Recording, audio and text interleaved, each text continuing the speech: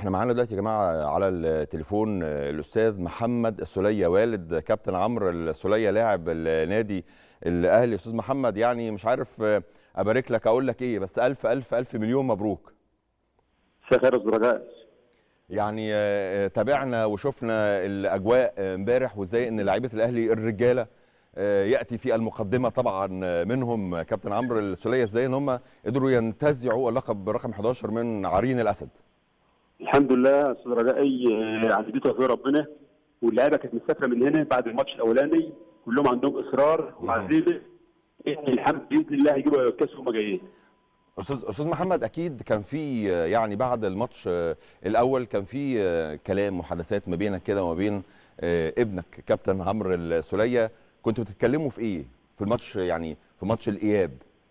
اللي أنا قلت له قلت له يا عمرو أنت السنة اللي فاتت رميت الميدالية الفضية. وما رضيتش تجيبها. في عندهم ميدالية ليك لازم تجيبها ذهب وانت جاي بإذن الله.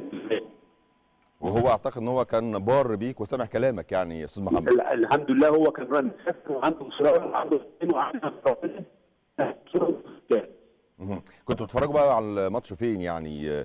كان في أعتقد يعني كان في تجمع أسري وأنتوا بتتفرجوا على الماتش. لا كنت بتفرج مع جماعة زمايلي كده يعني وبصراحه إحنا كنا قاعدين طول الماتش يعني اعصابنا بايظة. لحد آه. ما ربنا كرمنا هقول لحضرتك على حاجة. بعد الدخان ما الحكم وقف المباراة عشان الدخان بتاع الشماريخ آه. إحنا كان عندنا يقين ان الوقفة ديت في صالح في صالح النادي الأهلي. أها. طب حسيت بإيه لما كابتن عمرو السليه دخل كبديل يعني في الشوط الثاني وإحنا كنا كلنا بنقول إن الملعب كان محتاج قائد بشخصية عمرو السليه الحمد لله. وعمرو يعني يعتبر من كباتن النادي الأهلي لأن بقى له عمر في النادي الأهلي. فهو موجود بره زي موجود جوه هو قاعد بره وعامل حسابه في أي وقت هينزل هيأدي دوره. طيب آه، أنا عايز أسأل سؤال آه،. وقد يكون آه، خبر حصري لرقم 10 كابتن. عمرو السليه مكمل مع النادي الأهلي ولا ولا في. أخبار عن احتراف لا عمرو فاضل له سنة مع النادي الأهلي. غير الموسم ده فاضل له موسم غير الموسم ده.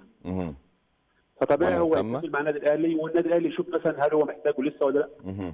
يعني لا أنا قصدي يعني ما فيش مثلا آه، آه، كلام آه، آه، مناغشات من أحد الأندية مثلا الأوروبية من أحد الأندية الخليجية لا كل تستع- الحاجات ديت بتبقى آه. مع الوكلاء مع الوكلاء والوكلاء آه. بيتكلم النادي الأهلي آه فهو عمرو بعد نفسه خالص عن الموضوع ده خالص سيب آه. الوكلاء بقى هي حاجة تبقى تبع الوكيل بتاعه.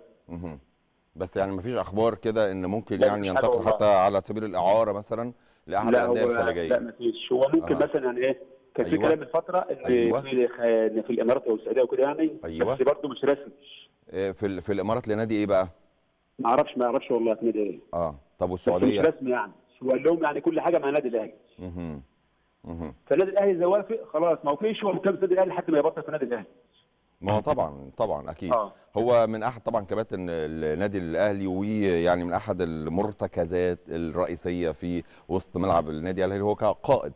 كنا كلنا بنطالب بكابتن عمرو السوليه امبارح آه، للشخصية بتاعته وكان يعني وجوده كان من العناصر المهمة جدا في قيادة اللعيبة خاصة بعد ما شفنا يعني أجواء التوتر. بشكرك شكرا جزيلا أستاذ محمد السوليه والد كابتن عمرو السوليه لاعب نادي الأهلي. بشكرك شكرا جزيلا وألف ألف مليون مبروك.